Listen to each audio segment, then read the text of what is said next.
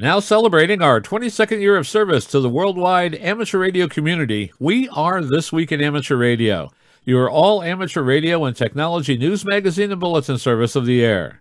This is edition number 1176 with a release and air date of Saturday, September 11th, 2021.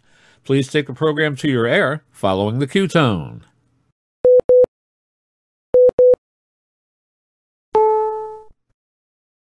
Coming up on our 23rd year of service to the amateur radio community around the world, we are This Week in Amateur Radio, North America's premier amateur radio and technology news magazine and bulletin service of the air.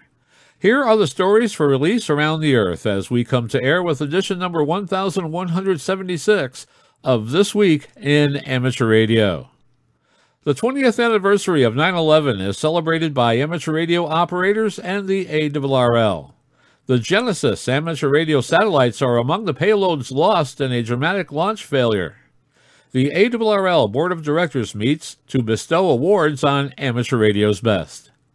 The August 2021 Volunteer Monitor Program has been released. We will tell you who has been bad and who has been good on the amateur bands. The FCC extends the filing deadlines for affected Louisiana parishes and Mississippi counties. Louisiana ARES operations are finally returning to normal status following Hurricane Ida. A California club assists with a large and small animal rescue group with communication support in the California wildfires. The VoIP net will be activating this weekend for Hurricane Larry, and a unique amateur radio special event will be taking place in Switzerland from hot air balloons. We will have all the details on how you can work this one coming up in this week's report. These headline stories will come to you in a moment along with this week's special features. We'll visit with Bruce Paige, KK5DO, and get an update from AMSAT and what's new with all of those amateur satellites in orbit. Our technology reporter, Leo Laporte, W6TWT, will talk about ads in Windows 11. Some IT exploitations were on the net on Labor Day. Apple delays the scheduled scanning of iPhones. And eight states will allow you to store your driver's license on your phone. Leo will also tell us about the brand new Bluetooth wireless codec that is claimed to rival a wired connection, and he will tell us about the sudden shutdown of the local channel retransmission streaming service, Locast. Australia's own Onno Benschop, VK6FLAB, will answer the question, What is in a sound? Our own amateur radio historian, Bill Continelli, W2XOI, returns with another edition of the Ancient Amateur Archives. This week, Bill takes us back to 9 11. Bill was in New York City on that day, and he will tell us about his experience being only a few blocks away from the World Trade Center.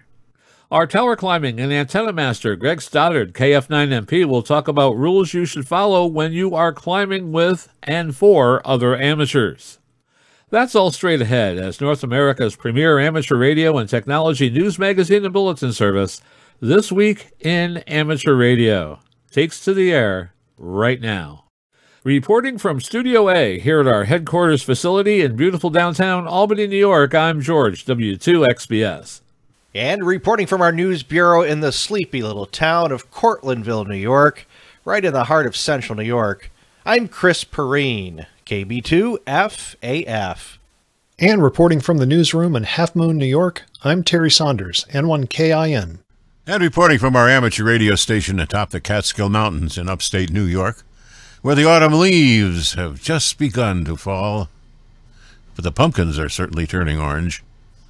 I'm Don Hulick, K2ATJ. And from Studio One of our Central Florida News Bureau, I'm Fred, November Fox 2 Fox. And reporting from our Troy, New York News Bureau, where it's almost time for apple picking, I'm Eric, KD2RJX. And now with our lead story, here is Chris Perrine, KB2FAF. Leading off this week's news, the ARRL, the National Association for Amateur Radio, honors the memories of those who died in the terrorist attacks of September 11, 2001, at the World Trade Center, the Pentagon, and in Shanksville, Pennsylvania, including these radio amateurs. Stephen A. Jacobson, N2SJ 53 of New York City, who died at the World Trade Center. William V. Steckman, WA2ACW, 56 of West Hempstead, New York, who died at the World Trade Center. Michael G. Jacobs, AA1GO, 54, an ARRL member from Danbury, Connecticut, who died at the World Trade Center. Lieutenant Robert D. Cirri, Sr., KA2OTD, 39, an ARRL member from Nutley, New Jersey, and Port Authority police officer who was helping to evacuate workers from the building when it collapsed. William R. Ruth, W3HRD, 57, of Mount Airy, Maryland, who died at the Pentagon. Gerald J. Rod Coppola, KA2KET, 46, of New York City, who died at the World Trade Center. And Winston A. Grant, KA2DRF, 59, of West Hempstead, New York, who died at the World Trade Center. An assembly of articles, stories, and messages from the November 2001 issue of QST Magazine is available at the ARRL website. Several special events will commemorate the attacks of September 11, 2001, and honor the victims. Saturday, September 11th, from 1200 to 2359 UTC, the Somerset County Amateur Radio Club and Nittany Amateur Radio Club will activate N3M. Frequencies will be 14.293, 7.293, and 3.993 MHz. QSL, care of Nittany Amateur Radio Club, P.O. Box 614, State College, Pennsylvania, 16801. Saturday, September 11th, from 1400 to 1900 UTC, the Harrisburg, Pennsylvania Radio Amateur Club will operate W3M. Frequencies are 7.265 and 14.265 MHz. For a certificate, visit www.w3uu.org slash W3MQSL. Saturday, September 11th, 1200 UTC to 2400 UTC, the Pentagon Amateur Radio Club will sponsor special event station K4P. Operation will be in the general class portions of 80, 40, 20, 15, and 10 meters on CW and RTTY. There will be a special QSL card available via PARC at P.O. Box 2322, Arlington, Virginia 22202. For more information, contact Gary Seasums, KC5QCN. Saturday, September 11th from 1400 UTC to 2400 UTC, members of the Great South Bay Amateur Radio Club and the Northwest Wireless Radio Club will activate special event call sign W2T. Through September 13th from 1600 to 0200 UTC, members of the American Legion Post 10 Amateur Radio Club, Albany, Oregon, will activate as N7F. QSL with a self-addressed stamped envelope to American Legion Post 10, 1215 Pacific Boulevard, Southeast, Albany, Oregon, 97321. Email for more information. Through September 13th, the Wireless Association of New York City, Staten Island, will activate WA2NYC. Frequencies will be 28.450, 21.350, 14.340, and 7.238 MHz. D-Star Reflector XLX020B will be monitored at the top of the hour. QSL to Wireless Association of New York City, 233 Wolverine Street, Staten Island, New York, 10306. Email for more information. Through September 14th, N3U will be on the air from Pennsylvania to remember all victims of 9 11. QSL via W3PN. Operation will be mostly on single sideband and CW with some digital activity. Search the special events calendar on the ARRL website for more details on these operations. The Genesis L and Genesis N ham radio satellites were among several carrying amateur radio payloads lost following the failure of the Firefly Alpha rocket during its first launch on September 2nd from the Vandenberg Space Force Base in California. With more on this story, we go to Steve Richards, Golf 4 Hotel Papa Echo, who files this report through the facilities of the Southgate Amateur Radio News. An anomaly occurred about two minutes into the mission, causing controllers to destroy the launcher in flight. The anomaly has not yet been explained. This was sad news for AMSAT EA in Spain, as Genesis L and Genesis N were the first satellites they'd built themselves. According to the AMSAT EA website, the Genesis satellites were destroyed after the Firefly Alpha vehicle presented an anomaly as it hit a velocity of Mach 1 and reached max Q, a point of maximum aerodynamic pressure on the vehicle. The launch had been halted a few seconds before takeoff, but the countdown was subsequently resumed. Genesis L and Genesis N were to conduct a series of telecommunications related experiments, while a ground station analysis of the received signals would try to attain Doppler variations in order to perform orbit determination and satellite identification from amateur radio stations around the world. Also lost in the launch failure were the Serenity, Hilapo, the Crest Dream Comet, Qubik 1 and Qubik 2 satellites, and Spinnaker 3 Firefly Capsule 1. All were designed to use amateur radio frequencies for telemetry and or communication. Serenity, a 3U CubeSat, was developed by a group called Teachers in Space to provide a low-cost opportunity to test educational experiments in space.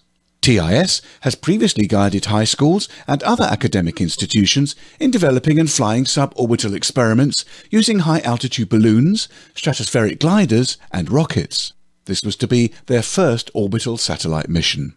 Serenity carried a suite of data sensors and a camera to send data back to Earth using amateur frequencies. Hilapo was an educational 1U CubeSat developed by the Hawaii Science and Technology Museum. The Hilapo project was intended to provide hands-on support for the science, technology, engineering and mathematics curriculum for Hawaii students in grades K to 12. Part of this curriculum involved obtaining data about solar flares, solar particle events and disturbances in Earth's magnetic field. Data would be available for amateur radio operators to download directly from the satellite. The Crest Dream Comet was a 3U CubeSat developed by the University of Cambridge as a small satellite for technology demonstrations. Qubik 1 and Qubik 2 were PICO satellites, developed by the Libre Space Foundation, a non-profit association developing PocketQube PICO satellite technology. They were built following the 1P PocketQube form factor. The mission of these satellites was similar to that of Genesis L and Genesis N. Spinnaker 3 was a collaboration between the Cal Poly CubeSat Laboratory, Purdue University, and NASA. It was designed to provide rapid de-orbit capability for the second stage of Firefly Alpha's launch vehicle, using frequency shift keying on the 70 centimeter amateur band for communications. Firefly Capsule 1 consisted of non-technical items from around the world, including photos, artwork, and books. The two digital repeater satellites were among several on board the rocket built by Texas based Firefly Aerospace. Firefly tweeted Alpha experienced an anomaly during first stage ascent that resulted in the loss of the vehicle. The company was previously known as Firefly Space Systems before entering bankruptcy, which it emerged from in 2017 with new owners. The ARL board granted several awards at its July 2021 meeting. The ARRL Doug DeMaw W1FB Technical Excellent Award went to Steve Frank, K9AN, Bill Somerville, G4WJS, and Joe Taylor, K1JT, for their July and August 2020 QEX article, the FT4 and the FT8 Communications Protocol. The DeMaw Award honors the author of an article or article series judged to possess the highest degree of technical merit in ARRL periodicals for the past year. John Level, W8KIW of Hillsboro, Ohio, was designated as the recipient of the 2021 ARRL Philip J. McGan Memorial Silver Antenna Award. This award honors a public information officer who successfully promotes all aspects of amateur radio that enhance the understanding of its contributions to education, public safety, and recreation. The board said LeBeau's efforts over time have captured many of the avenues of opportunities of amateur radio as a hobby, an education tool, and a service for public safety. The 2021 ARRL Technical Service Award 2021 award recipient is James Baxter. K0UA of Branson, Missouri. The board said Baxter exemplifies the spirit of this award due to his diligent work assisting hundreds of hams get on the air particularly with FT8, and by spending countless hours on web sessions with them to work out their configuration issues, show them the best practices, and to help track down RFI issues. The board bestowed the 2021 Technical Innovation Award to Steve Haynal, KF70, Wojciech Kaczmarski, SP5WWP, and Roger Clark, VK3KYY. Haynal was cited as instrumental and driving force behind the Hermes-Lite 5 watt HF SDR transceiver, as well as an open full source hardware and software project.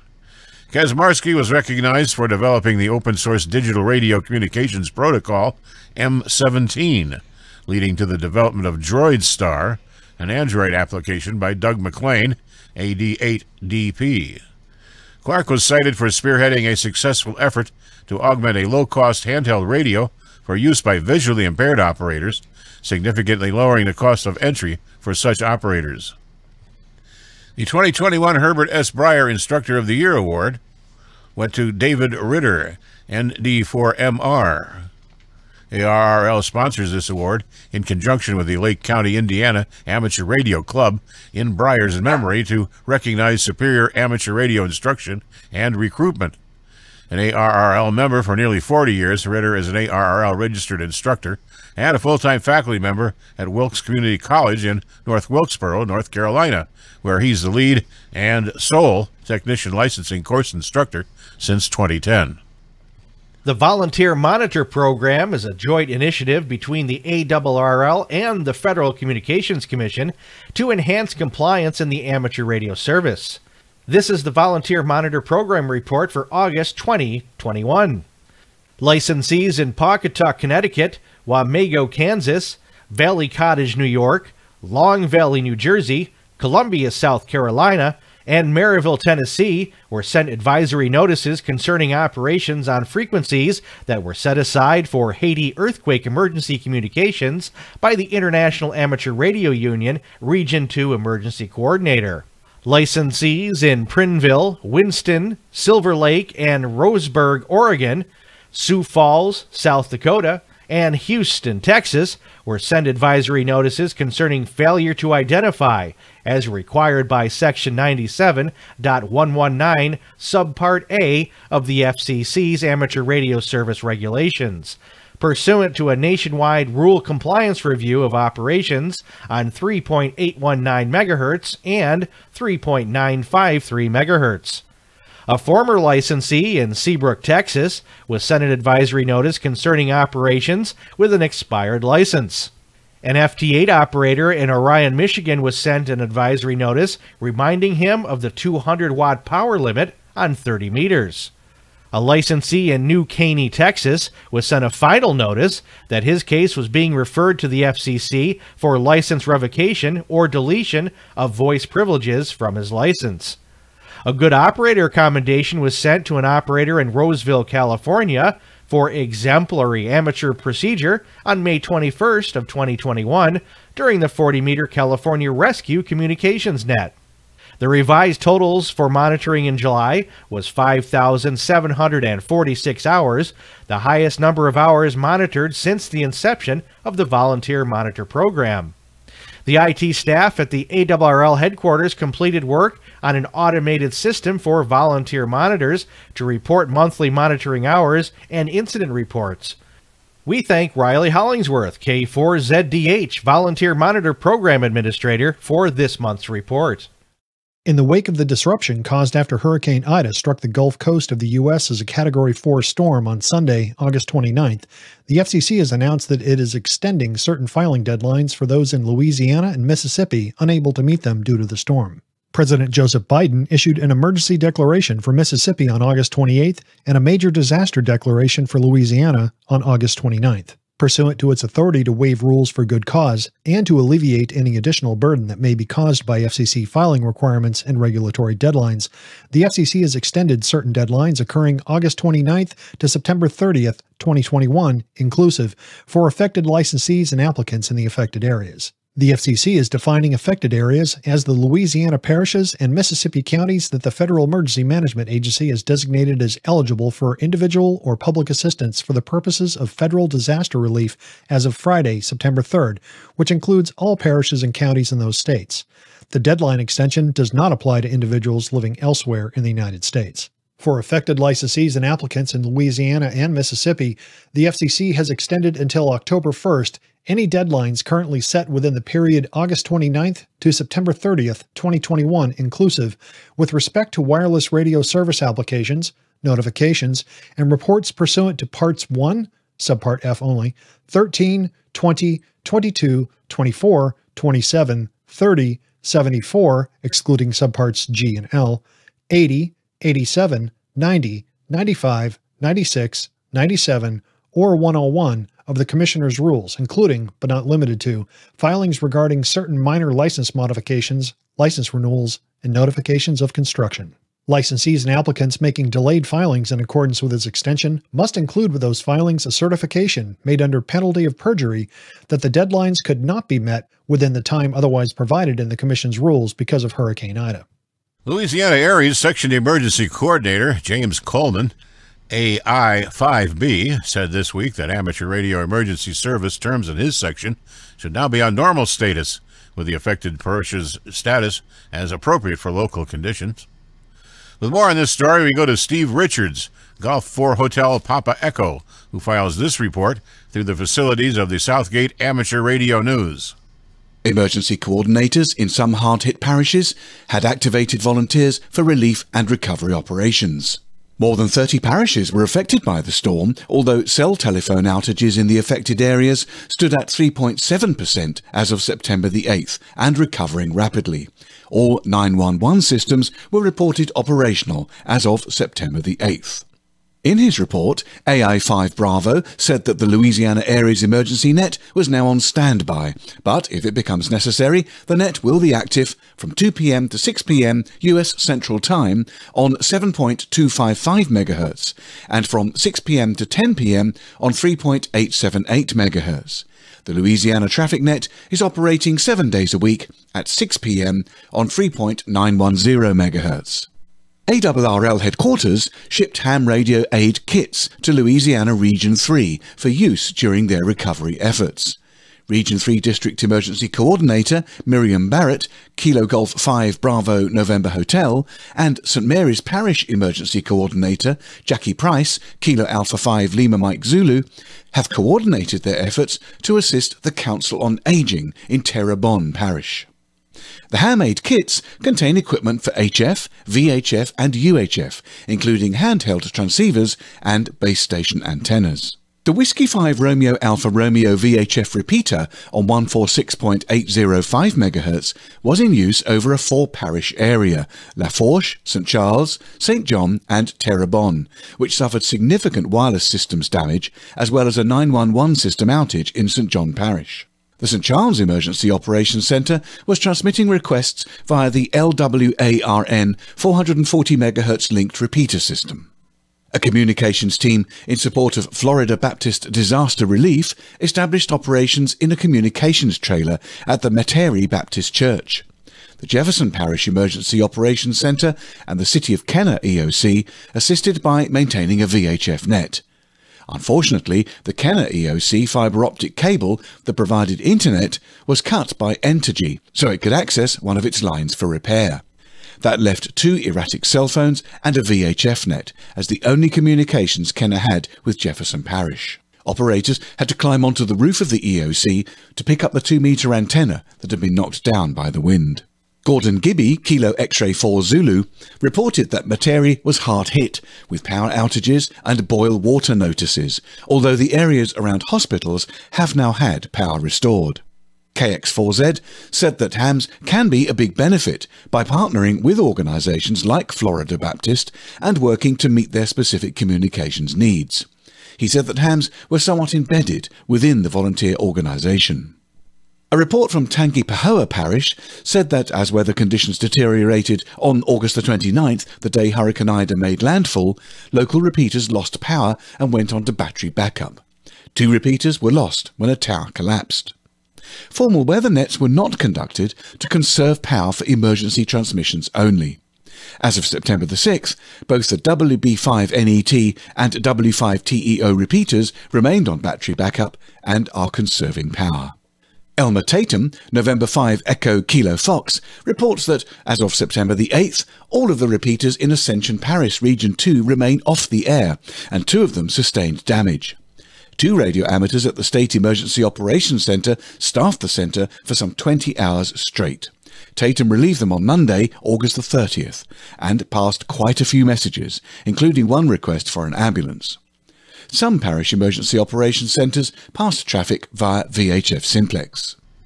Harry's Region 2 Assistant Director Emergency Coordinator Michael Nolan, KD5 MLD, reported that Region 4 objectives were accomplished during the storm.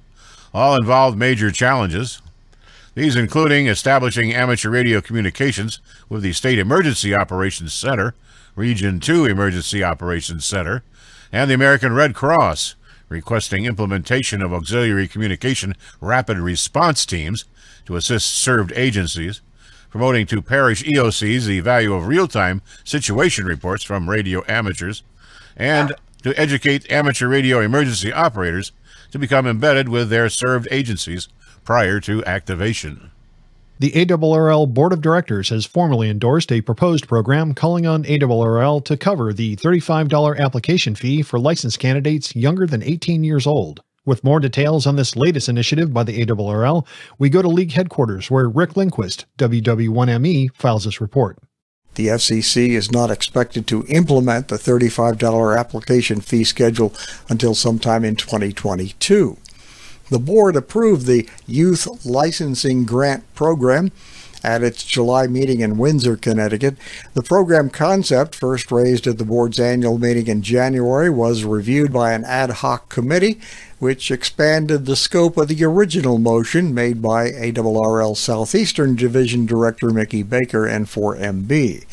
Under the program, ARRL would cover a one time $35 application fee for each qualified candidate who passes one or more amateur radio exams taken on the same day at a single examination. Tests would have to be administered by a volunteer examiner team working under the auspices of the ARRL Volunteer Examiner Coordinator.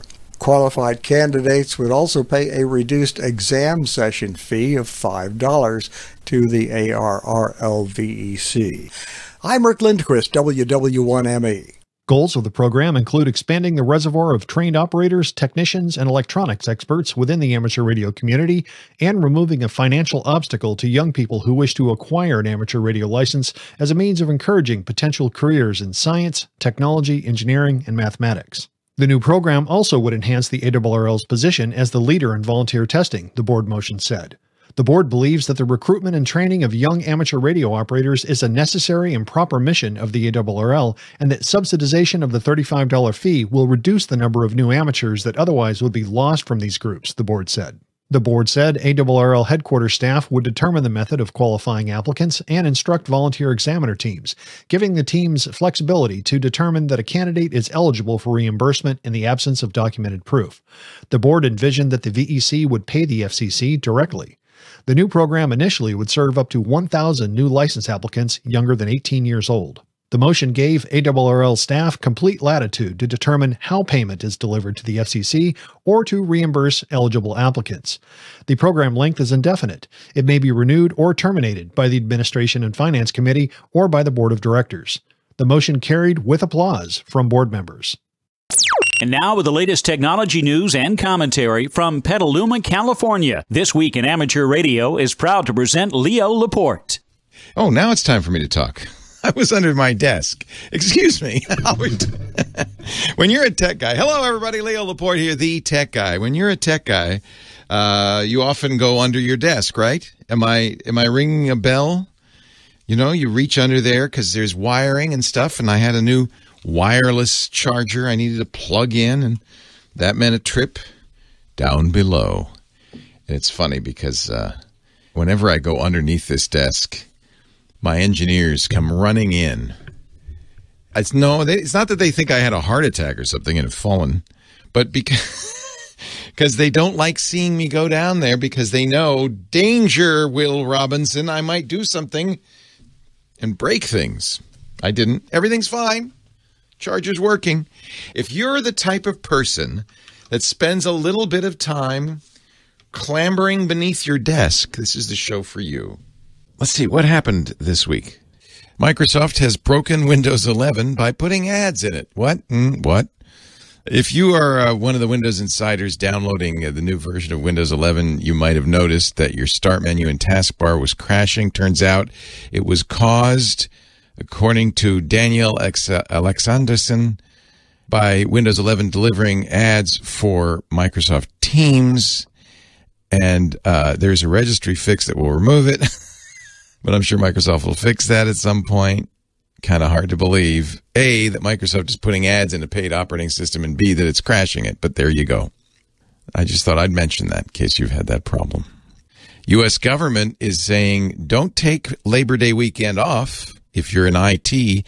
Mass exploitation of a flaw in Atlassian's Confluence, which is a actually we use it. It's a widely used program to kind of document what you're doing in a system and so forth is ongoing. The exploitation is ongoing according to the Cyber National Mission Force.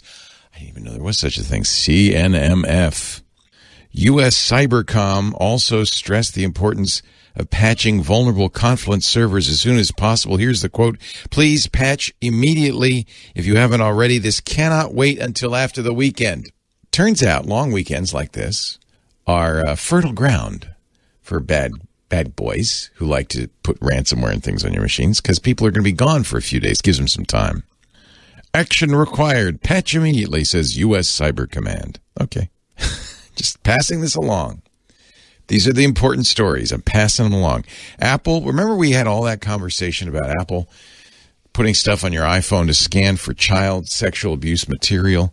People getting upset that Apple was invading their phone Apple said, no, we're going to do this in a way that's private and secure. And people said, but yeah, you shouldn't be scanning anything on my phone.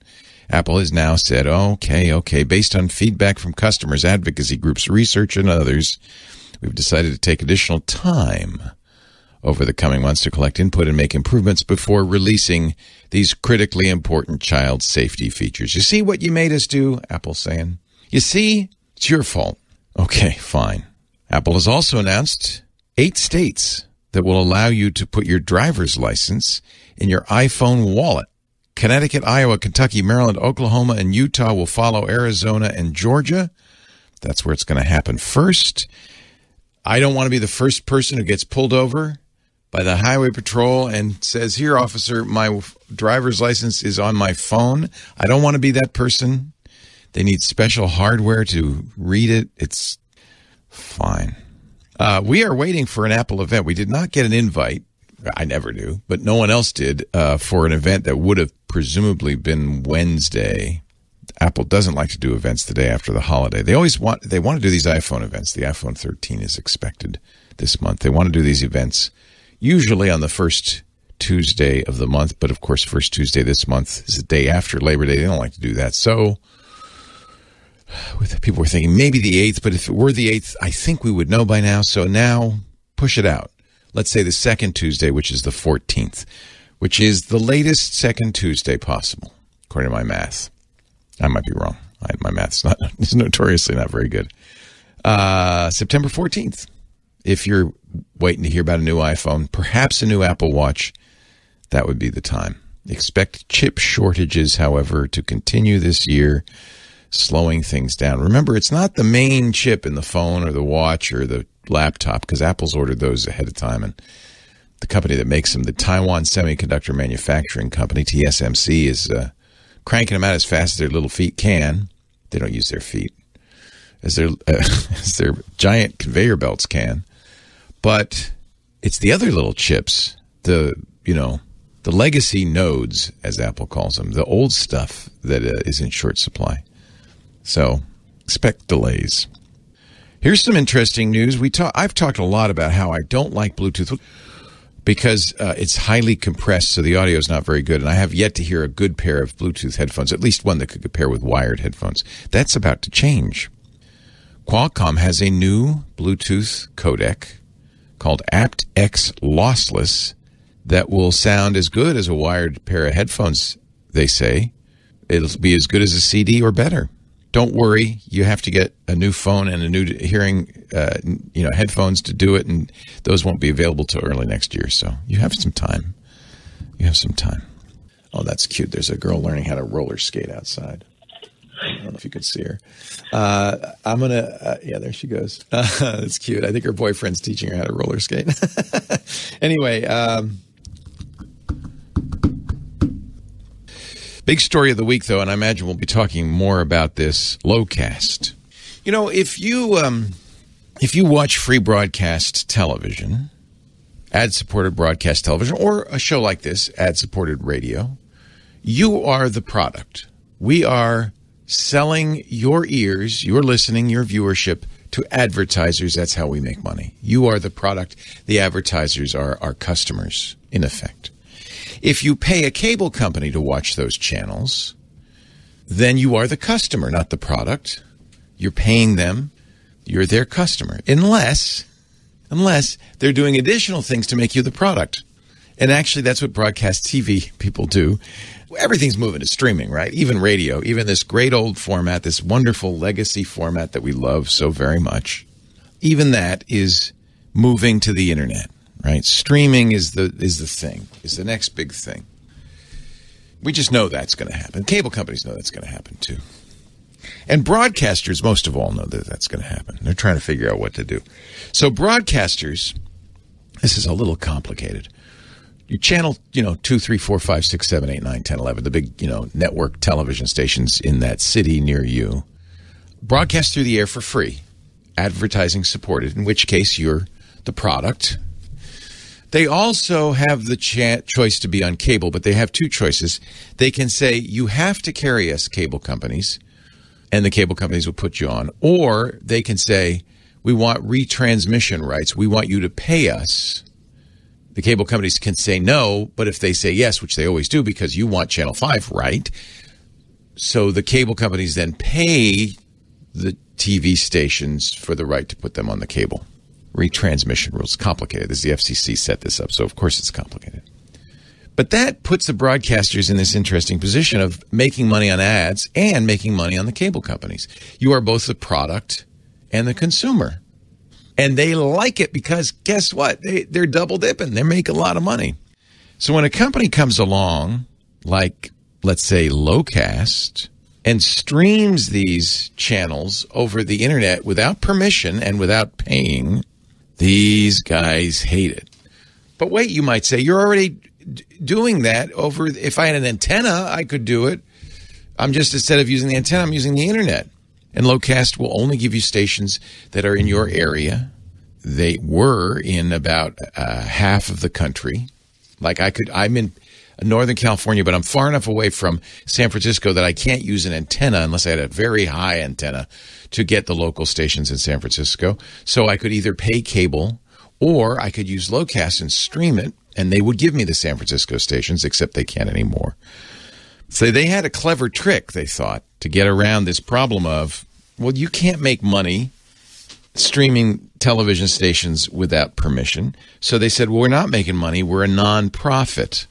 You, do you know about Locast? Locast.org. You can't see it anymore. You used to be able to go there, and if you were in one of the covered markets, which again was more than half the U.S., you could watch your local stations for free. Except every few minutes they'd interrupt them with a thing saying, "Hey, we're nonprofit. Give us five bucks a month." I mean, the uh, television stations really hated Locast, and they went after him. Actually, the cable companies probably too, because it's undermining everybody's business. If you can get local stations over the internet, you probably don't even need cable, right? So everybody hated him.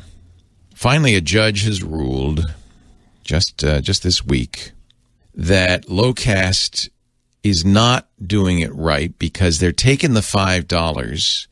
They shouldn't be making any money on it. The nonprofit rules mean you can't invest that five dollars in improving your technology expanding to other markets, and that's what they've been doing. So the judge said, "Stop it." So Locast said, "Okay, fine," and has shut down suddenly. This like yesterday. Boom. We are suspending operations effective immediately, says Locast. This was, you know what? I've been telling you about Locast for a couple of years now, recommending it, saying this is great, but also with the full knowledge that at some point the chickens were coming home to roost, and now they're living right there in the chicken house. As a nonprofit, Locast says on their website front page, Locast was uh, designed from the very beginning to operate in accordance with the strict letter of the law. I'm putting in the sigh, but deep sigh. but in response to the court's recent rulings with which we respectfully disagree, we are hereby suspending operations effective immediately. They might as well just add another sentence, and this is why we can't have nice things. I kind of, honestly, I didn't expect it to last. This was kind of inevitable. This was an example of uh, trying to get around the law with a little bit of a of a loophole. Oh, we're a nonprofit, except eh, maybe they weren't that much of a nonprofit because they were taking they were made four million last year, and they were taking that and expanding operations. And the judge said you can't do that and be a nonprofit. So there. So they said, well, fine. So long. This is not the first company that's tried to do this. Remember Aereo? They also were put out of business by the U.S. Supreme Court. Uh, I don't know if Locast is going to appeal this. I don't know what they're going to do. But for now, sad to say, your free ride is over, kids. No more free ride. And uh, and the TV stations once again have won, and now they can double dip once again, charge your cable company, charge you thereby, and put ads in their content. At least this show is free. I am not charging you one penny. Anyway, I'm glad you were here, and I'm here, and I'll be here next week, and I hope you'll come by and bring your friends too as we talk high tech. Leo Laporte, the tech guy. Are you ready for another trip into amateur radio history? I'm Bill Continelli, W2XOY, and I'll be back in a moment with another edition of the Ancient Amateur Archives here on This Week in Amateur Radio. Ever since I entered the world of amateur and CB radio in the late 1960s, I wanted a station that was portable and battery operated for traveling and emergency use. Thus, over the years, I avoided the big tube type rigs and instead focused on radios such as the Heathkit HW8, the realistic DX150B, homebrew transistorized QRP CW transmitters, 5 watt CB walkie talkies, and other HF and VHF rigs that could fit in a duffel bag and operate anywhere.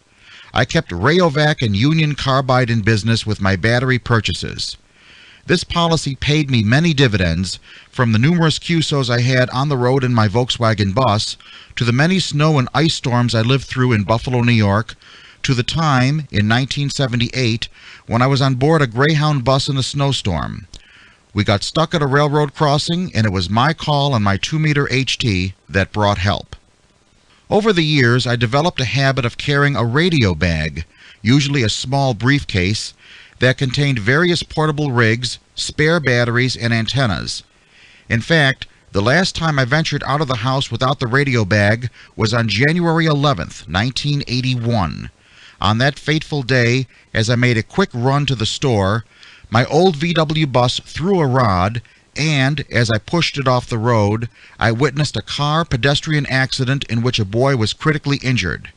From that day forward, my motto was, Where I go, so goes the radios.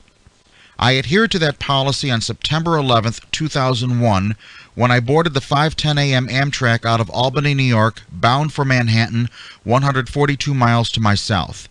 My latest version of the radio bag was a small computer case which held a Yaesu FT50 dual band HT, an Alinco FT1, a Cobra CB walkie-talkie, a Sony IC10 pocket-size AM/FM shortwave receiver, a Sharp Zaurus palm top with built-in email capability, telescopic antennas, and spare batteries. I was prepared, so I thought.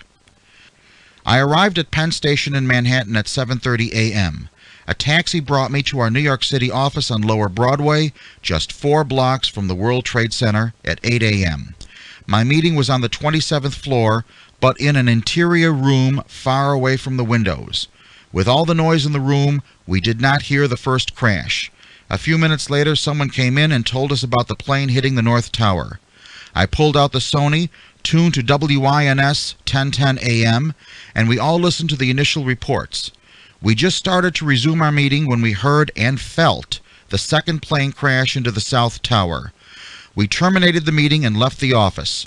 We tried to get info from the people leaving the other offices, but they were too traumatized to tell us what happened. As we walked down the 27 flights of stairs, the Sony gave us the information. When we arrived at the street, the streets were chaotic and the view was horrific. Since we were in front of a federal building and across from the federal courthouse, there were federal police everywhere. I tried their frequency, 417.2 megahertz, but all transmissions were scrambled. Not knowing the 2 meter and 70 centimeter repeater frequencies in Manhattan, I quickly scanned both bands on the FT50, but I heard nothing. The federal police warned us to get away from the federal buildings, and so we started walking north. Along the way, a coworker held the Sony, still tuned to 1010 WINS, where we received excellent news updates. Not knowing the police, fire, or EMS frequencies for New York City, I started scanning the VHF and UHF bands. I heard many stations, but none were actually at ground zero. I then tried the FRS channels. They were a jumble of voices, some in English. Many were near ground zero and described in terrifying detail what they saw. At this point, neither tower had collapsed. I switched over to the 156 MHz Marine band and heard a couple of stations, presumably in the Hudson River, give first-hand accounts of what they saw. I then tried the Cobra CB.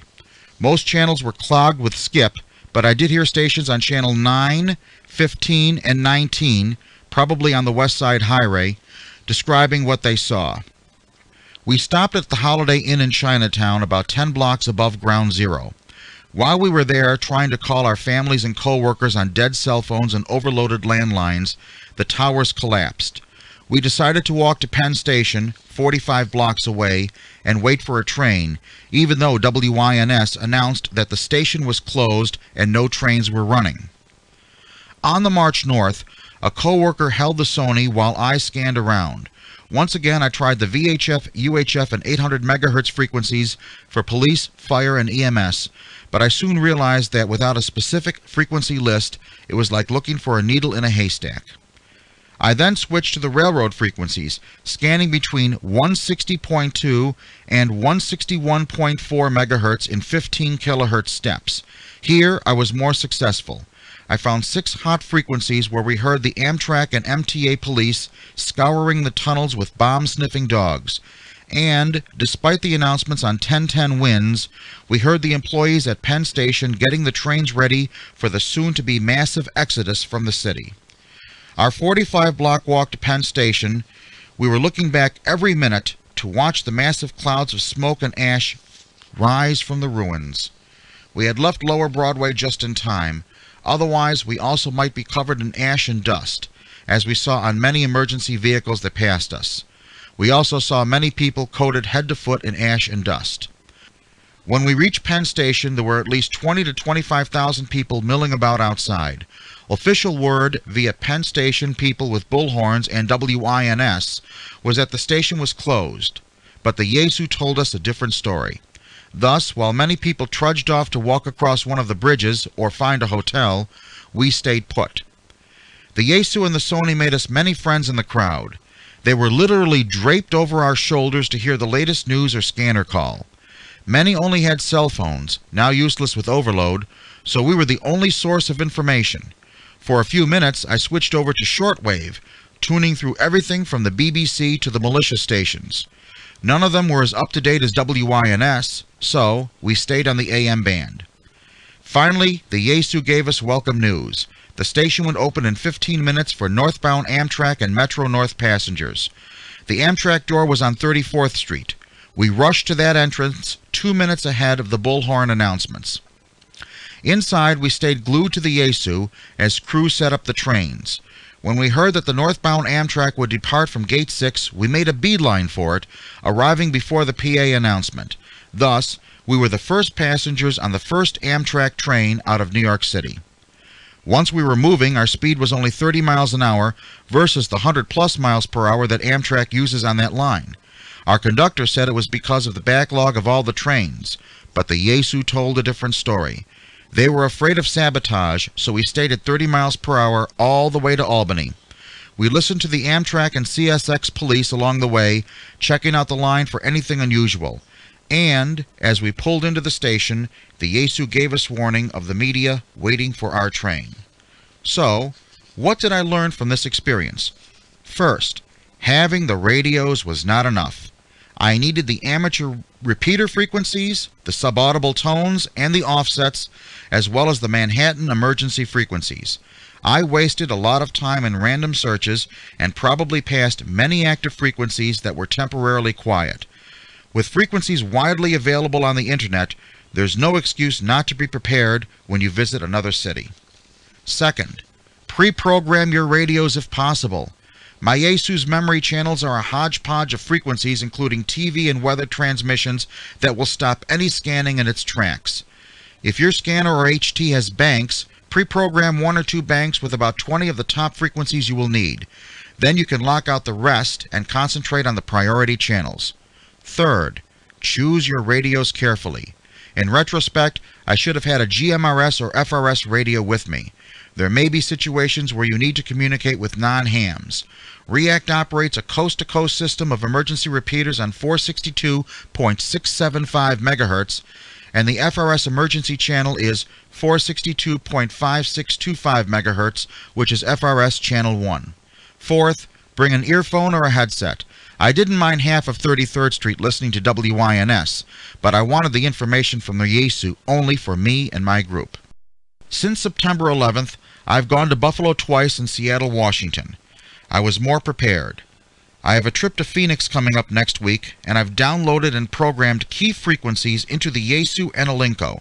There's a second radio bag packed for the Phoenix trip. It has FRS and GMRS radios, as well as a brand new Yaesu FT817. I'm going well prepared and in style.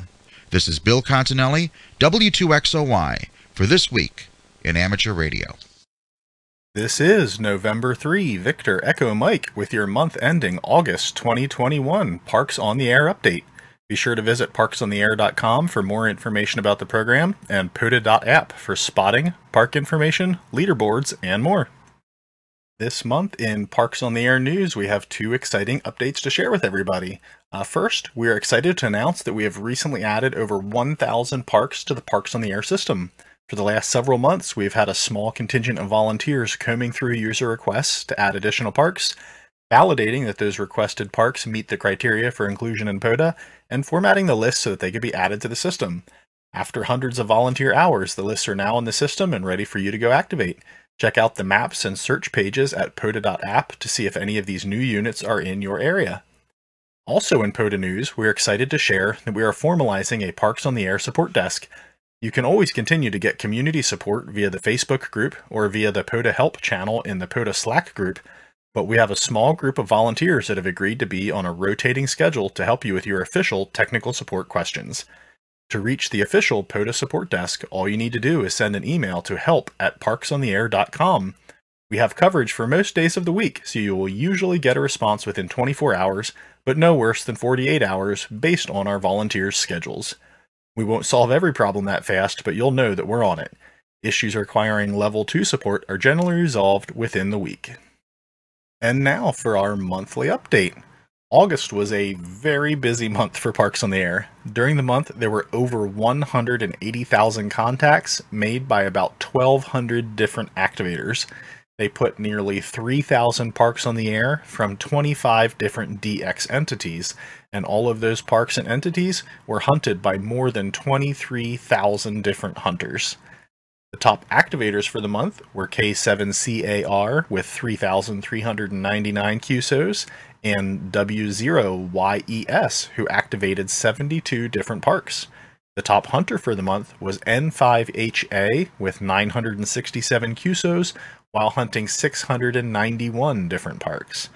In our POTA DX corner, Canada was unsurprisingly the most active entity outside of the continental United States, with 12,382 QSOs being made from parks in the Great White North.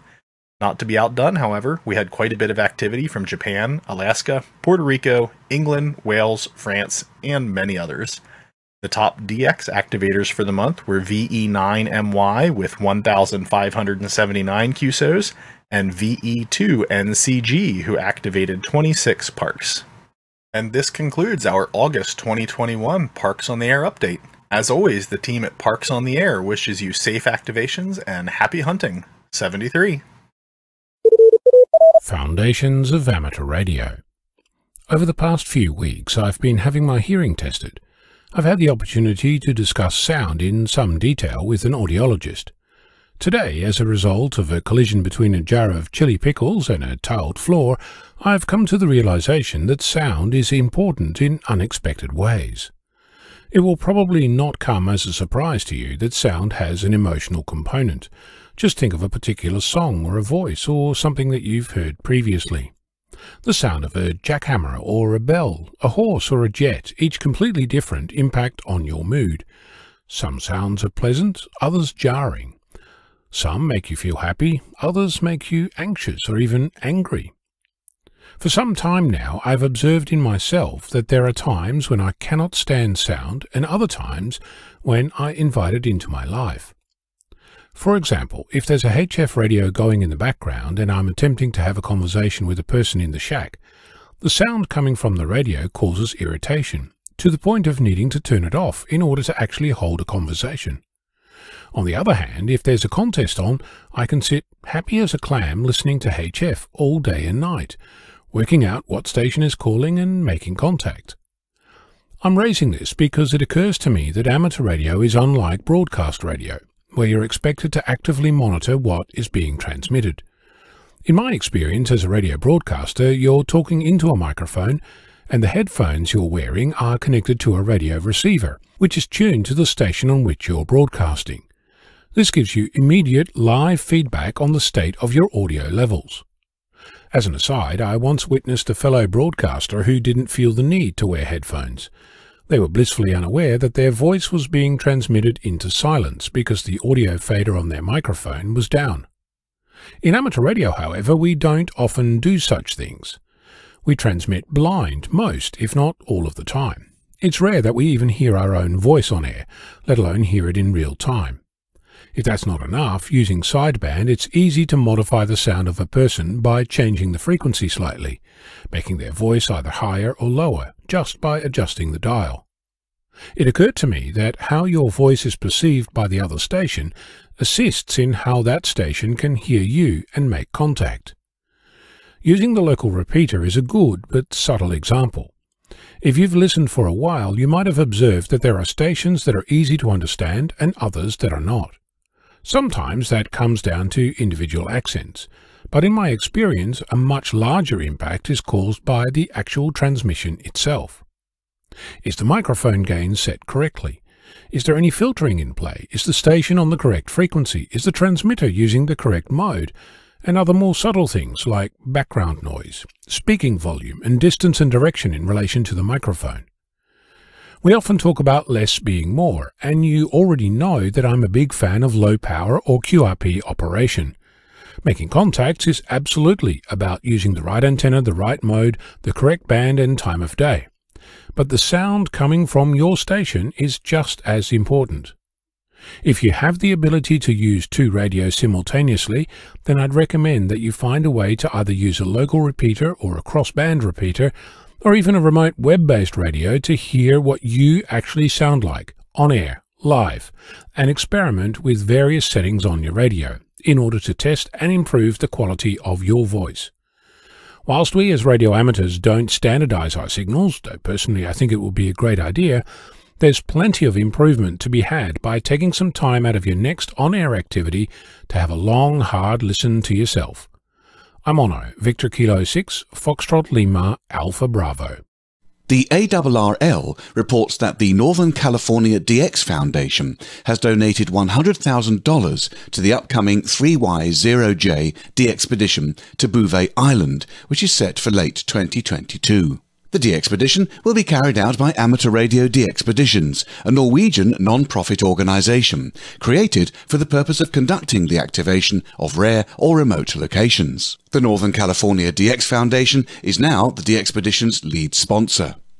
The three Yankee Zero Juliet team said that they wished to recognize and thank the Northern California DX Foundation as the lead sponsor for the 3Y Zero J expedition to Bouvet, and without their support, operations to the world's rarest entities would be difficult. A dependency of Norway, Bouvet is a sub-Antarctic island in the South Atlantic. It's the second most wanted DXCC entity behind North Korea. The three Yankee Zero Juliet team said that with its overall budget of $650,000, this DXpedition to Bouvet will be one of the most expensive ever. With the NCDXF donation, the team hopes to succeed in their fundraising, as the first payment milestone for the vessel contract is approaching. About a third of the cost of the vessel contract is due by the end of October, and the DXpedition said it wanted to have confidence that it could succeed financially. They say they critically need upfront donations to be able to make it. While they have a solid plan, a young and strong team, a dedicated crew, and the vessel Marimar, they need your support to get there and to make 120,000 QSOs from Cape Fee at Bouvet. Three co-leaders are heading up the expedition. They are Ken, Lima Alpha 7 Golf India Alpha, Runa, Lima Alpha 7 Tango Hotel Alpha, and Ervan, Lima Bravo 1 Quebec India. Donations to the 3Y0J expedition are invited via PayPal or through the 3Y0J website. You can also visit the 3Y0J expedition Facebook page. In June, the Intrepid DX Group announced that it was cancelling its long anticipated DXpedition to Bouvet Island after it lost its vessel contract. Time now for the AMSAT report. The University of Maine is working on a satellite called MESAT 1. It's scheduled to be launched next June.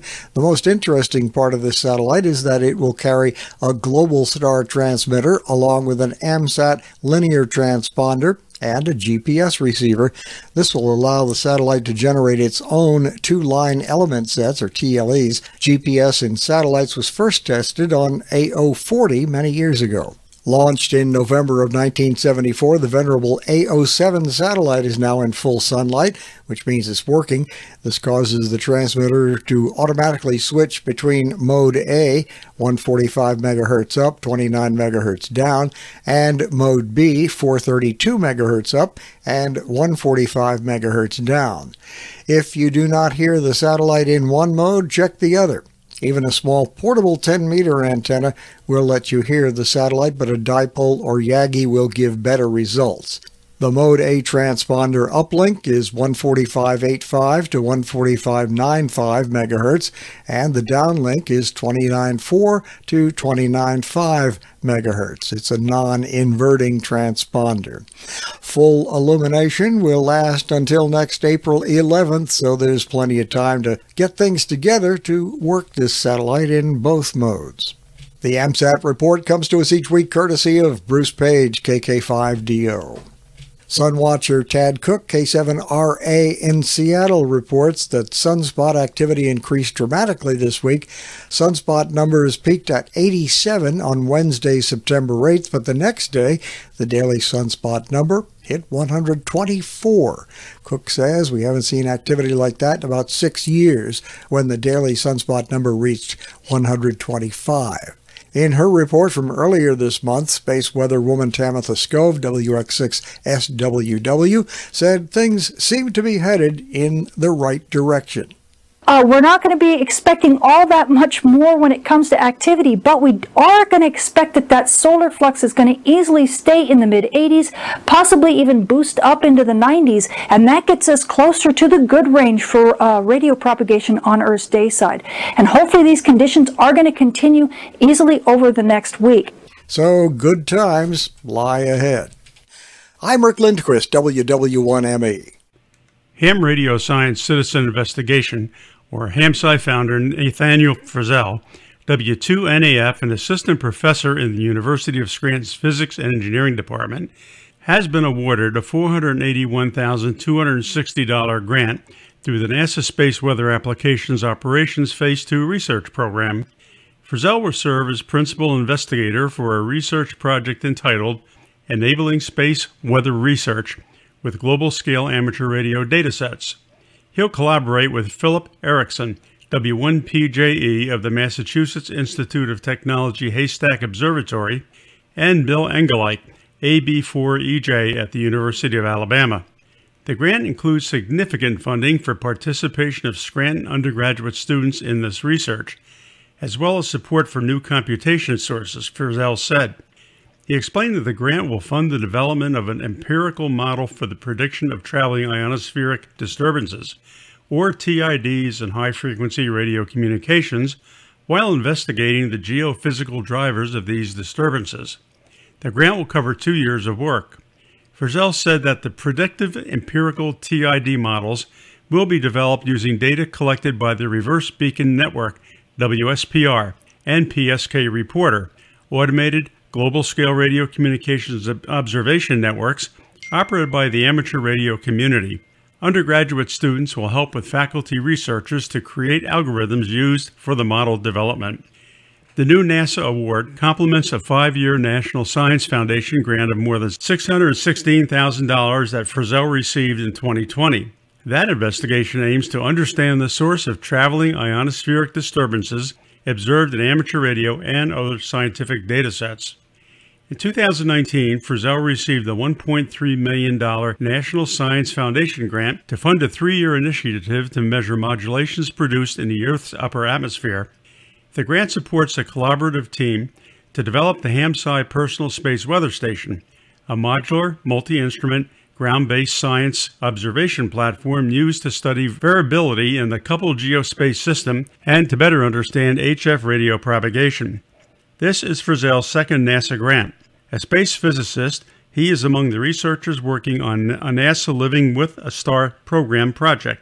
Wave driven asymmetries in the ionosphere and thermosphere due to asymmetries in the northern and southern polar vortices. That project is being led by Richard Collins of the University of Alaska Fairbanks Geophysical Institute at HAARP. As a result of the Bilsdale transmitter fire in Yorkshire, UK, in early August, many people are still without terrestrial television. The Northern Echo newspaper reports that the Member of Parliament for Stockton North, Alex Cunningham, announced that he had written a letter to Ofcom calling for a full inquiry into what he called the wholly inadequate response from site operators Arqiva. The letter highlighted the MP's concerns about the lack of plan from Arqiva and the slow progress of talks between Arqiva and the neighbouring landowner. The letter also touches on the limited support available to customers by Arqiva, which according to the MP includes that they've not provided a fully staffed helpline and are instead providing an automated message. Member of Parliament for Thirsk and Malton, Kevin Hollinrake, supported Alex Cunningham's letter and expressed that Arqiva had neglected to follow proper processes. He said he agreed with Mr Cunningham's letter and was not surprised to learn that his constituents' experiences were the same as those in Stockton North. It appears Arqiva have neglected to follow proper processes, he said, which has now led to further delays in the restoration of services. Following a meeting with Arqiva last week, Kevin Hollinrake contacted the Secretary of State for Culture, Media and Sport, Oliver Dowden, the Minister for Media, John Whittingdale, the North York Moors National Park Planning Authority, and Natural England to help seek a solution. He will continue to press for a near immediate resolution to this. He echoed Mr Cunningham's sentiment that efforts to date have been wholly inadequate. Chancellor of the Exchequer, Rishi Sunak, said that he had also been in regular contact with mast operator Arqiva, and he was concerned to hear that the situation had made people feel more isolated. He was urging all parties involved to do everything possible to resolve the situation as soon as possible. He said that many of his constituents had been without a terrestrial TV signal for weeks now, and it was having a detrimental impact on their lives. He said he'd received a considerable amount of correspondence from constituents who had been further affected by the delays to restore services. A spokesperson for Ofcom, the regulator, said that they were very concerned about the local impact of the fire on Freeview viewers. They are monitoring the steps being taken by Arqiva and broadcasters to restore services as quickly as possible and to provide information to those affected. Last Thursday, a spokesperson for Arqiva said that they wholeheartedly apologised for the disruption this had caused to people's everyday lives, especially those who rely on television for companionship. They recognise the frustrations of those who were still living without TV and would like to reassure everyone that they are doing everything in their power to bring services back for as many people as possible as quickly as they can. Their teams were working around the clock, and their recovery plans had meant that many people had had their services restored.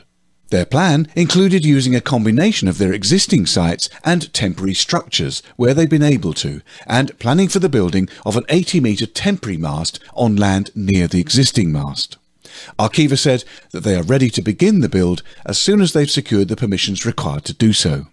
Arqiva said that the processes are not under their direct control, and they continue to require the help and support of their partners to achieve the permissions they need as quickly as possible so that they can restore services to the people who need them. Arqiva will provide an update on progress as soon as they can. Meanwhile, North Yorkshire Fire Service have said investigations are ongoing into the cause of the fire at Bilsdale Mast, however, it is not being treated as deliberate. You can read the full story and keep across updates by going to www.thenorthernecho.co.uk forward slash news. The El Dorado County Amateur Radio Club in California has been providing radio communication support for small and large animal rescue efforts during the Caldor fire.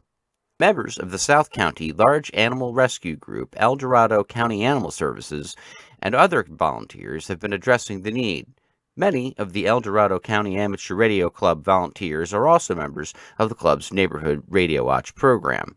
As the California Caldor fire destroyed the community of Grizzly Flats, threatened Lake Tahoe, and caused evacuations in dozens of communities throughout the county, thousands of area residents were forced to flee their homes without having time to round up their pets and livestock. We desperately love our animal companions, whether big or small, and being separated and unable to care for them in the midst of a disaster is truly heart wrenching, said Alan Thompson, W6WN, the club's public information officer.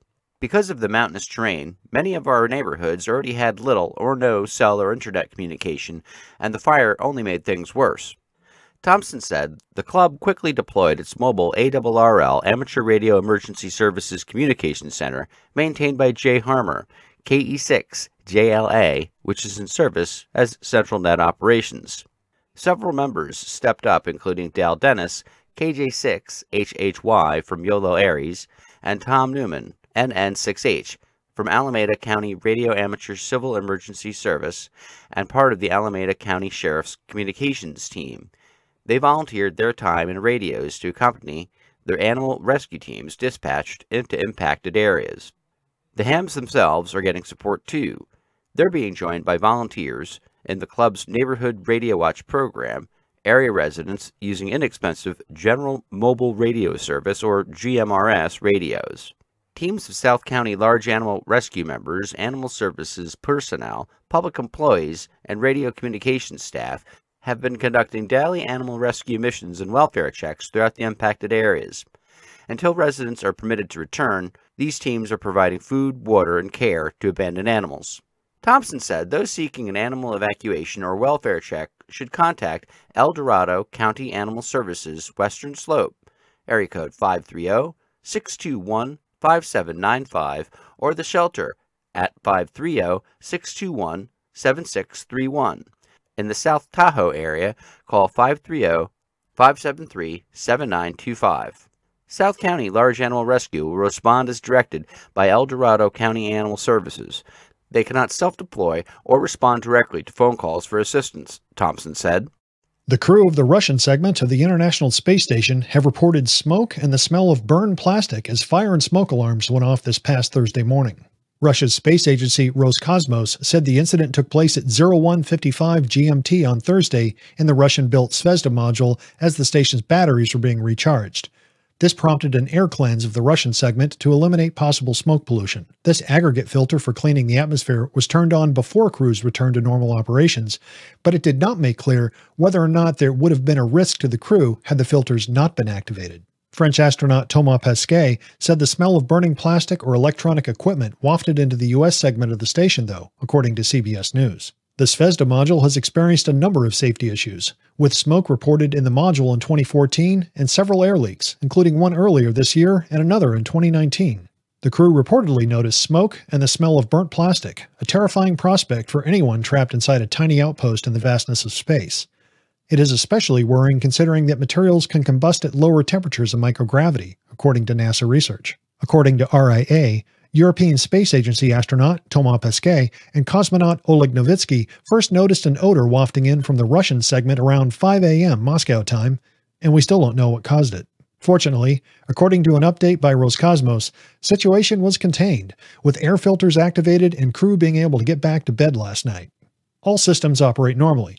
The composition of the air on board the station corresponds to the standard parameters, the Roscosmos statement reads, as translated by CBS News reporter William Harwood. The incident didn't even end up postponing a spacewalk scheduled for Thursday afternoon, the agency claimed. It's a serious incident that's bound to raise eyebrows, especially considering Russia's recently announced plans to abandon the station by 2025. Russia's state news has also increasingly discussed the worrying state of the aging orbital outpost. Just last week, Vladimir Solovyov, the chief engineer of the Russian space company Energia, warned that portions of the space station may be beyond repair. Literally a day after the in flight systems are fully exhausted, irreparable failures may begin, Solovyov told Russian state media at the time, according to the BBC. It's still too early to draw any conclusions, but the timing of Solovyov's comments certainly are at the least intriguing. We have yet to find the exact cause of the smoke, but if recent events are anything to go by, coming to a conclusion may take some time. Russian authorities noted the existence of several cracks and air leaks causing air to slowly vent into open space, but both Roscosmos and NASA have maintained that crews were never in any danger. Superficial fissures have been found in some places on the Zarya module, Solovyov told state-owned news agency RIA late last month. This is bad and suggests that the fissures will begin to spread over time. Russia certainly seems to be ready to look beyond the ISS. On the one hand, there is a real chance that the outpost is starting to show its age. On the other, Russia's state news seems rather keen to paint the ISS as a foregone conclusion that isn't worth saving. The country has its own plans to establish an entirely separate space station in the upcoming years. All the while, NASA is still trying to come to an agreement with its international partners as to how to dispose of the station when its days are numbered within the next 10 years. Incidents like this certainly appear to show up more frequently as the ISS enters its 22nd year of continuous operations. What the future will hold for the outpost is anything but certain, all we can do is hope that its crews will never be in any serious danger. America's Appalachian Trail has always captured hikers' imaginations, and next month it will be capturing hundreds and hundreds of miles of radio signals. The 2,190 mile long Appalachian Trail will present 2,190 miles of possibilities for summits on the air and parks on the air activators on Saturday, October 2nd. Summits on the Air enthusiasts are already registering to activate summits that are within a short distance on the trail, and hams will be calling between 1200 UTC and 2100 UTC throughout the day.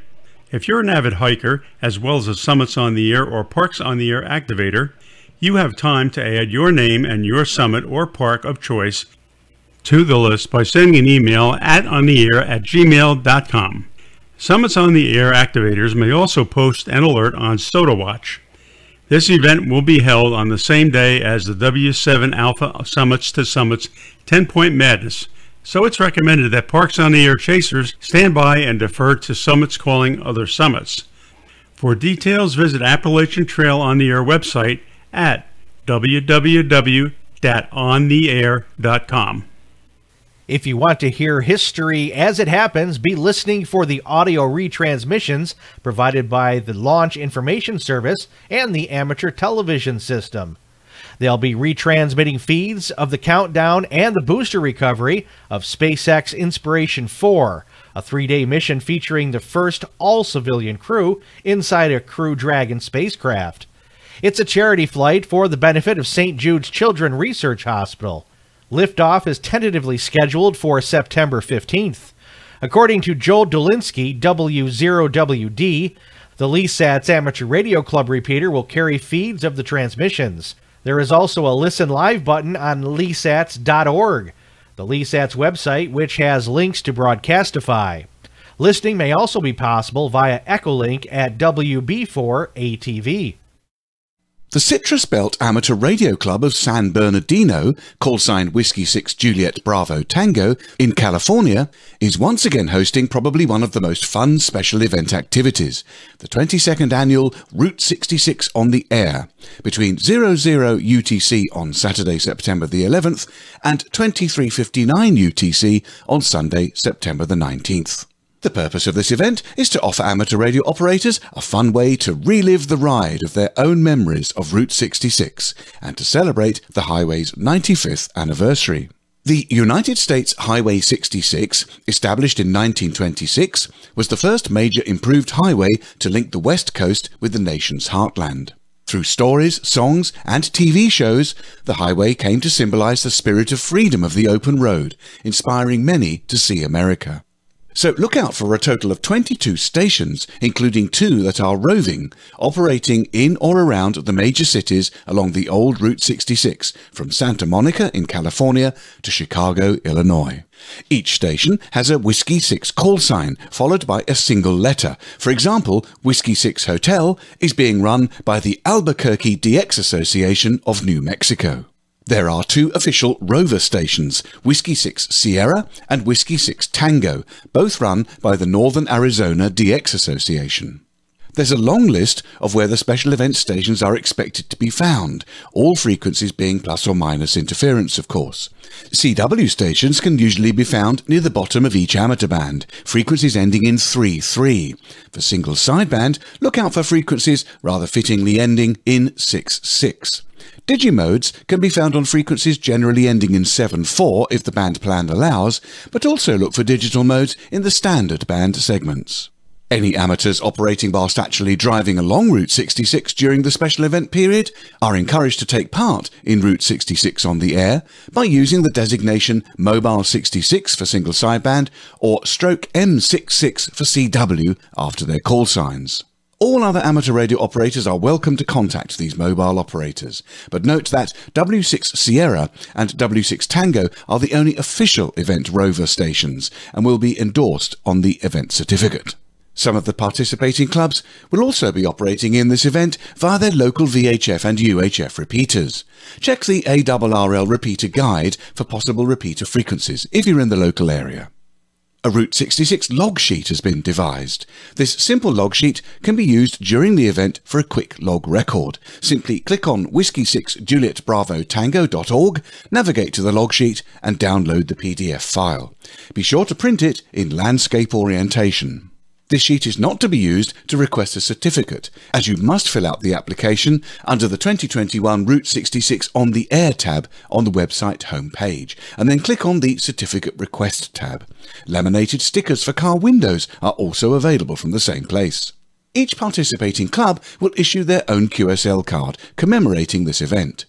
QSL information is available, alongside more details about the event and the various certificates that are on offer, on the Route 66 OTA website at whiskey6julietbravotango.org.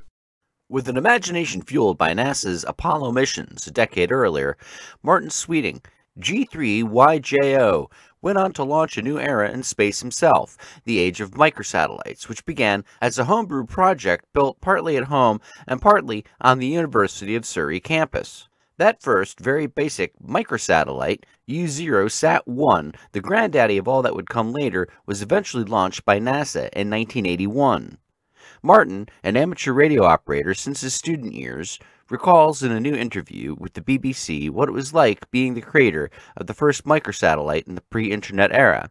More than amateur radio communication tools, today's microsatellites aid the world in navigation, scientific research, weather, and environmental monitoring. As satellite megaconstellations now revolutionize communications yet further, Martin, a distinguished professor of space engineering at the university, also makes a plea to clean the skies of the hazard of space junk. The BBC posted the half hour interview on the BBC Sounds website. The VoIP Hurricane Net will activate on September 11th at 0100 to 0600 UTC for Hurricane Larry, a Category 1 storm. The National Hurricane Center reports that Larry is moving quickly toward southeastern Newfoundland and is expected to bring hurricane force winds, dangerous storm surge, heavy seas, and heavy rainfall. As of 1200 UTC, Larry was about 650 miles southwest of Cape Race, Newfoundland, with maximum sustained winds of 85 miles per hour, moving to the north northeast at 26 miles per hour. Net manager Rob Macedo, KD1CY, said reports on the net's reporting form will be forwarded to the National Hurricane Center's WX4 NHC and via CanWarn. the volunteer organization of ham radio operators who report severe weather to Environment Canada. Stations in the affected area may connect via All-Star on node number 28848, Echolink on node number 7203, and the Ham Shack hotline 94032 and IRLP 9219. Reports may also be sent to KC5 FM 9 on APRS, KC5 FM at winlink.org, D Star on REF 052B, or Wires X 43234. The net accepts Skywarn criteria reports, including damage, hail greater than a quarter inch, flooding, and other hazards. For more information, contact Macedo. The Hurricane WatchNet has announced that it will begin its activation September 10th at 2100 UTC on both 14.325 MHz and 7.268 MHz. In a new video, Bruce G4 Alpha Bravo X-ray demonstrates a three-band portable vertical quarter-wave antenna which will operate in the 40, 30 and 20 meter bands. It's also suitable for a small garden if the matching unit is waterproofed. The matching section uses base loading coils and they're courtesy of QRP Guys. You can look at their website qrpguys.com. Bruce's application uses a 7 meter fiberglass fishing pole and a public address loudspeaker stand as the base support, so the antenna is completely freestanding. The design has four 10-foot radials. More radials will improve efficiency slightly, but at the expense of convenience, because more or longer radials will not be so quick to deploy or wrap up afterwards. The complete antenna can be deployed or taken down in less than 10 minutes, and the telescopic fiberglass mast is stored inside the loudspeaker stand for safe transportation and storage. The standing wave ratio, which is a measure of how much power is being wastefully reflected back from the antenna, is less than 1.7 to 1 for all three bands, and as this is a resonant design, no aerial tuning unit is needed. This makes it ideal for use with small portable transceivers such as the Yaesu FT817 or the ICOM IC705. Bruce uses this antenna in conjunction with his KX3 Go box and performance is very good. Power handling of the matching unit is 20 watts PEP, so it can also be used with a Xiegu G90 transceiver. Bruce reminds everyone working portable to check that there are no overhead cables above the area where you plan to deploy the antenna. It's certainly very good advice never to deploy an antenna in the vicinity of overhead cables. Bruce says that anyone should feel free to emulate his design and experiment. After all, that's what this hobby is all about. If you just type in Golf 3 Alpha Bravo X-ray into YouTube, you'll find lots of interesting videos by Bruce, and amongst them is a demonstration of this three-band portable antenna design. International Amateur Radio Union Region 1 President Don Beattie, Golf 3 Bravo Juliet, reports that the IARU has awarded medals to six radio amateurs. With the decision to hold the planned IARU October 2021 workshop event virtually, Region 1 is now not able to make planned in-person announcements or presentations of medals to recognise exceptional support for the region's work. The Executive Committee has therefore decided to move ahead now with the announcement, deferred from the 2020 Virtual General Conference, of the award of medals to six people. Dave Court, Echo India 3 India Oscar, recently retired having led the IARU Spectrum and Regulatory Liaison Committee through a period which resulted in the region-wide allocation to the amateur service of a 2 MHz segment at 50 MHz. Dave also played a role as a member of the Extended Executive Committee. Hilary Clayton Smith, Golf 4 Juliet Kilo Sierra, is an Electromagnetic Compatibility Committee member and until recently its secretary for nearly 25 years.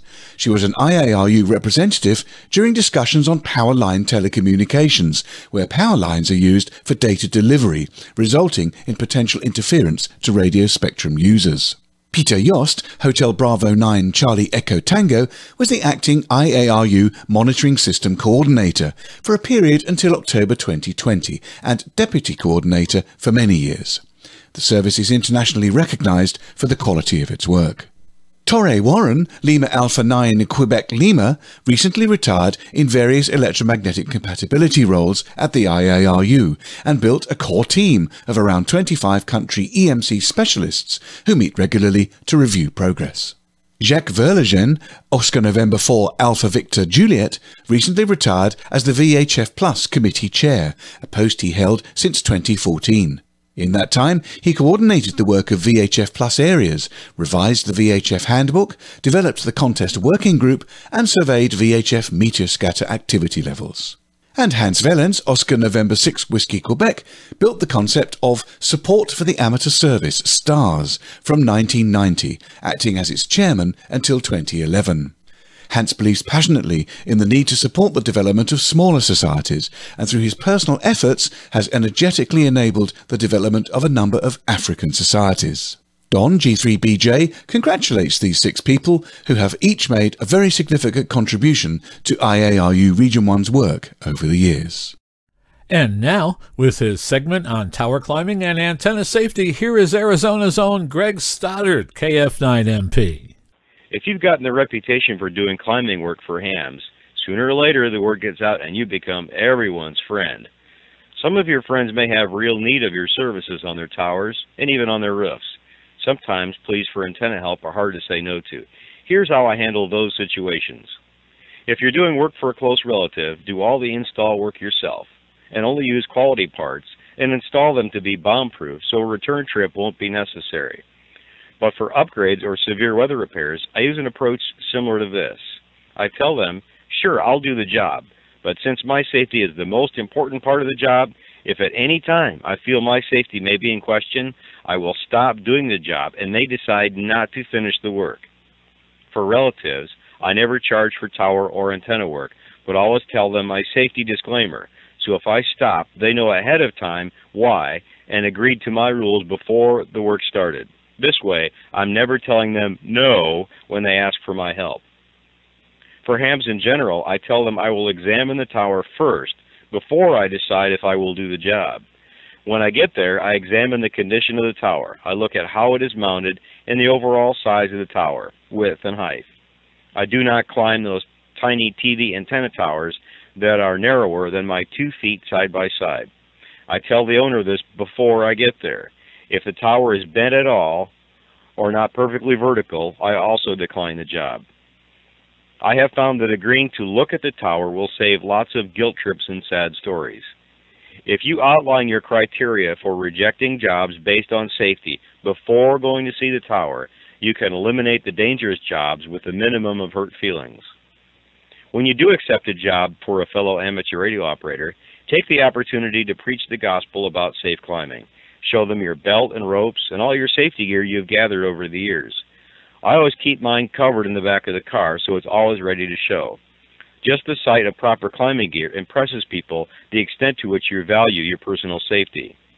I take time to appoint someone to act as ground crew supervisor and charge them with keeping everyone far away from the base of the tower. If kids are present, I sometimes drop a screwdriver to impress them with what would happen to their heads if they hung around the base of the tower when something fell. While I'm on the subject of doing work for other hams, I'd like to mention a cheap and durable sidearm for the typical home antenna tower. I use inch or larger conduit and put a proper bend in one end, then clamp it to the tower. It is necessary to drill at least one hole and pin it to the tower to prevent rotating in the wind. I would ask a professional electrician to bend the conduit for me if you have no experience doing that yourself, since it is easy to kink it and ruin it. Remember, tower work at any height can easily become deadly. Money spent on books, videos, and climbing gear is well worth the investment. This is Greg Stoddard, KF9MP, reporting for This Week in Amateur Radio. The Amateur Radio Pedestrian Mobile Handbook by Edward Brenizer, Whiskey Alpha 3 Whiskey Sierra Juliet, is now available for download as a PDF. The purpose of this handbook is to provide the amateur radio operator who is interested in operating pedestrian mobile with the information needed to get on the airwaves. Hopefully, with this information, the average amateur radio operator will have enough knowledge to build and operate a pedestrian mobile amateur radio station. It is Edward's hope that his handbook will guide the amateur radio operator who would like to try pedestrian mobile to a point where he or she can build a pedestrian mobile station and get outdoors to operate that station. If this handbook adds one additional pedestrian mobile operator to our ranks, it has fulfilled its purpose, said Edward. You can download the handbook PDF from Whiskey 3 Bravo Quebec Charlie homestead.com. Here's this week's listing of upcoming ARRL Learning Network webinars, a members only benefit. To register, check out upcoming webinars, and to view previously recorded sessions, please visit the ARRL Learning Network webinar page. ARRL members may register for upcoming presentations and view previously recorded Learning Network webinars. ARRL affiliated radio clubs may also use the recordings as presentations for club meetings, mentoring new and current hams, and discussing amateur radio topics. Working the Pileup, presented by Ron Delpierre Smith, KD9 IPO, will be presented on Tuesday, October 5th, 2021 at 1 p.m. Eastern, that's 1700 UTC. Ron Delpierre Smith, KD9 IPO, Vice President of the Chicago Suburban Radio Association, and an ARRL Assistant Section Manager in Illinois, will offer an enlightening discussion on working a pileup from both sides of the contact.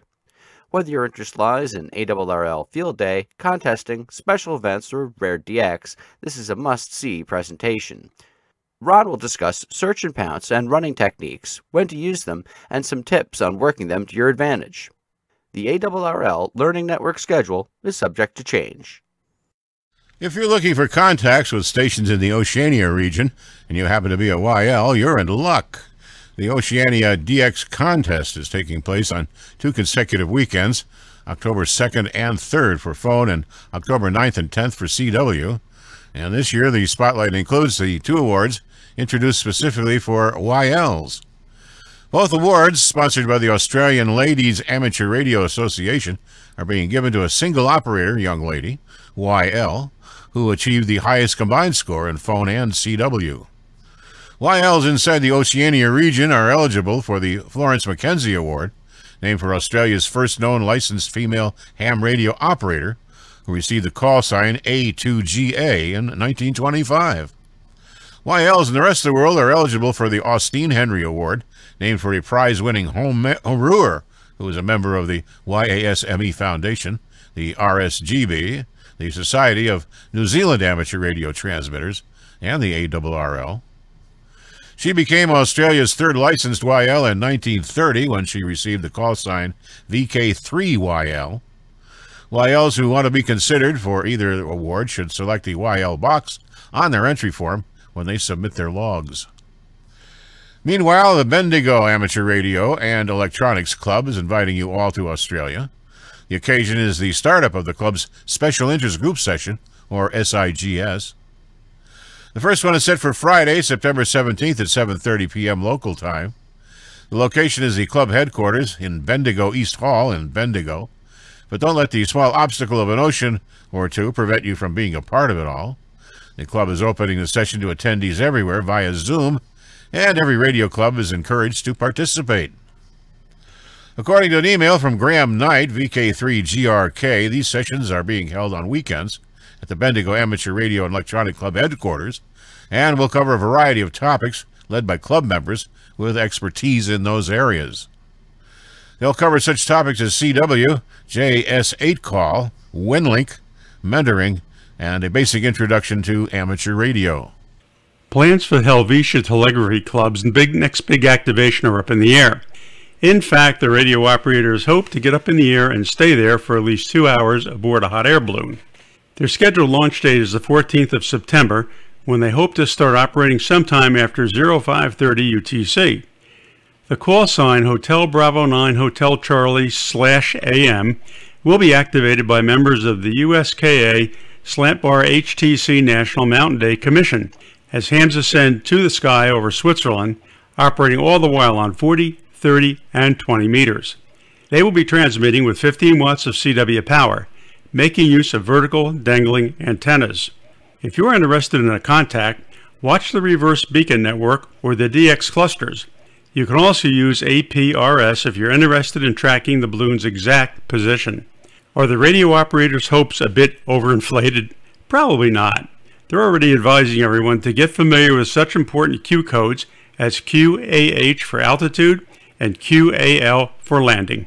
Many of the news and information items heard on This Week in Amateur Radio have been provided by the American Radio Relay League, the ARRL Letter, the ARRL Audio News, the Southgate Amateur Radio News Service, Southgate Vibes, AMSAT, the Radio Amateurs of Canada, the FCC, the Radio Society of Great Britain, and Ofcom, the SARL, the International Amateur Radio Union, the Wireless Institute of Australia, the Amateur Radio Newsline, the International Telecommunications Union, and various news sources on the Internet. This Week in Amateur Radio is heard around the world on the Internet, on low power FM stations, and on great repeater systems like the WB3GXW repeater on 147.225 MHz in Silver Springs, Maryland, serving all of Silver Springs and also covering the nation's capital, Washington, D.C. WB3GXW can also be found on Echolink Conference Server Node 6154. If you are a This Week in Amateur Radio affiliate and you would like us to give a free on air announcement of your station's carriage of the program, please send us an email with the station location, call sign, coverage area, and day and time you air This Week in Amateur Radio, plus any other information you would like us to impart. You can send to the following email w2xbs77 at gmail.com. That address once again is w2xbs77 at gmail.com. This Week in Amateur Radio is produced by Community Video Associates Incorporated. Now, for the staff of This Week in Amateur Radio, this is Jeff Ronner, WB2AEQ, saying 73 until next week.